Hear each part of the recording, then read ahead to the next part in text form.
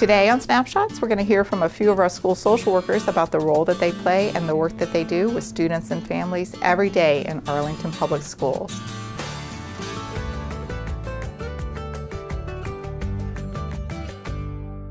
So a school social worker um, not only works with students, but we also work with their families. We want students to be able to come to school and engage in learning, but sometimes in order to do so, there's a lot that has to happen behind the scenes.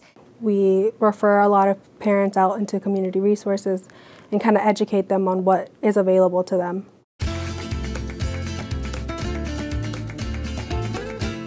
Our typical day is spent eliminating barriers to education in any way that we possibly can be that doing some counseling with a student or getting them some items that they need so they can participate in school, getting them a coat, getting them school supplies. So sometimes it's like that basic, right? We have to, because if a student doesn't, is unsure whether they're going to have food or a place to lay their head, they can't really focus on school.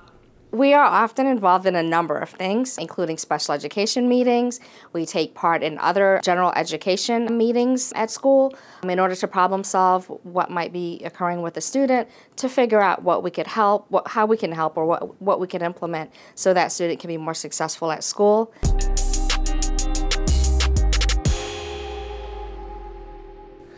Oh my gosh, it's been great. Um, it, when I first started here, I found like I spent, a, spent an awful lot of time sitting in meetings and writing reports because there are some duties that, that are mandated by the special education process. And, and I think they're beneficial, but having more social workers has meant that I spent less time working on reports and more time meeting with kids and families and helping them where the rubber meets the road without the additional staff, we couldn't access these services and provide these services for students the way we want to.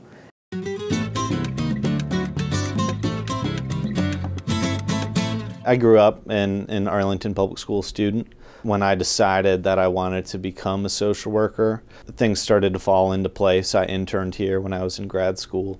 Um, and I just, I wanted to give back to, you know, a community that, that was supportive of me when I was a, a student. And so I always knew I was going to be in the helping profession, probably since I was in high school. I actually graduated from Yorktown High School here in Arlington. They had a peer mentoring program, a peer mediation program, and so I think that exposed me to psychology, counseling, mediation, and so that's what piqued my interest. So I knew from an early age that that's kind of what I wanted to do. And so I pursued it, and here I am working where I grew up.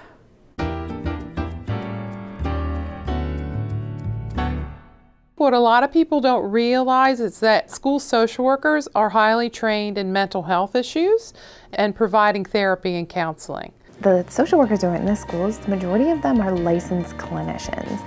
We are licensed psychotherapists and we have lifelong skills that we've built up to support your students and, and to support the mental health needs. And I think that is really something to highlight within our schools. I think that's fantastic. I certainly would want all of our families in our community to know that, that we are here for them and their students and their families.